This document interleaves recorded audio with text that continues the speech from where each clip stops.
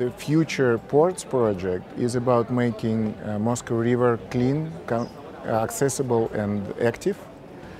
And the important part of the project is uh, to activate the periphery because periphery is big in Moscow, as you know, maybe, and uh, it's 80% of the territory. It's about microrayons, and all of those microrayons and industrial territories, they are blocking the river, and the river is not the center of the city.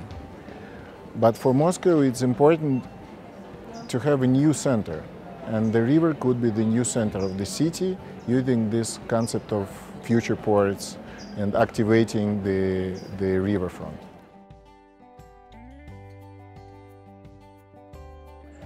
The project includes 100 city ports and the port is the piazza on the river, different sizes. We have 11 city-scale ports like Moscow University, Zaryadye Park or Parliament Center or Kapotnya, which is the poorest district and we want to activate this. And we have smaller ports like neighborhood ports.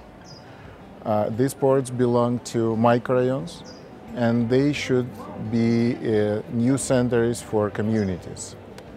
So the river could glue together all of these fragmented territories along the river and these ports could be uh, like hotspots of these public activities.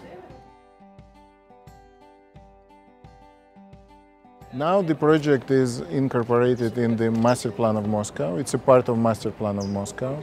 We did this work with city planners. Uh, they finished their work and we finished our work this summer, the previous summer.